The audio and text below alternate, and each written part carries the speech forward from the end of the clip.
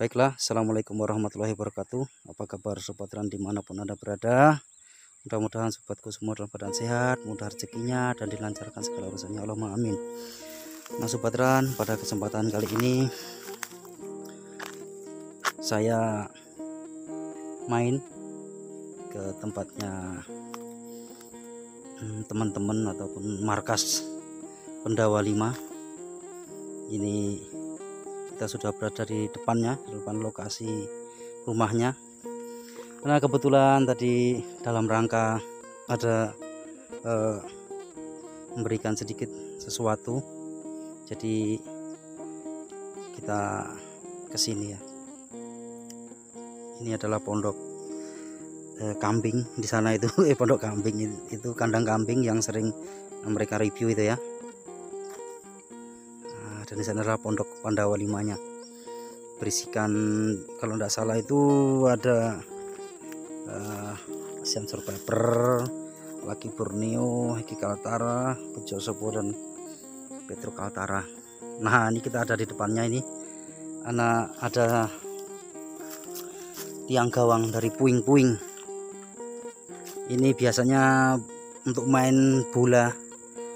Yang biasa main itu biasanya Adit sama Bang Jarwo di sini nih. Kita akan mendekat ke sana. Ada apa aja?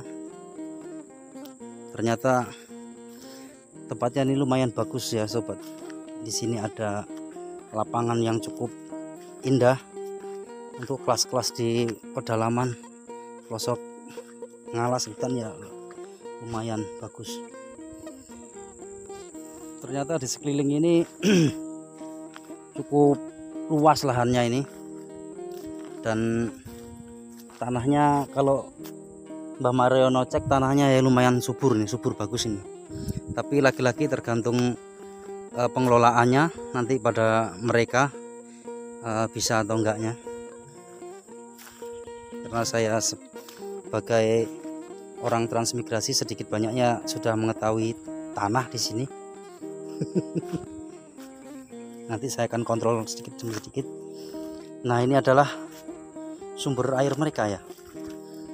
Ini adalah sumur bor yang dihasilkan oleh Inul ini dengan mesin sedotnya Alcon nah ini air-air tandon-tandon mereka ya. Di sini ada sepeda motornya Mas Bejo Sobo nah ini sepeda motornya Mbah Mariono yang sudah tua kayak orangnya. Sana ada sepeda motor Petro Kaltara. Inilah kondisi pondoknya Pandawa 5 yang sudah bercat sangat indah dan bagus sekali. Ada tangga-tangganya untuk menaiki. Kayaknya sudah ada orangnya karena sandalnya juga sudah komplit kayaknya itu. Tidur atau kayaknya suaranya enggak ada. Nah lihat kolong-kolong ini. Itu adalah kebun yang paling belakang. Nah kita lihat ke depan lagi ya sobat. Nah ini lapangan daripada anak-anak bermain bola. Lagi-lagi tiang gawang puing-puing. Sisa bangunan yang tergusur. Malah nyanyi. Oke sobat. Sampai di sini dulu ya videonya. Yang penting uh, sudah ada kata persinggahan di sini. Tetap terus tetap terus dukung channel saya ini sobat di sobat transmigrasi. Lebih dan kurangnya saya mohon maaf saya akhiri. Assalamualaikum warahmatullahi wabarakatuh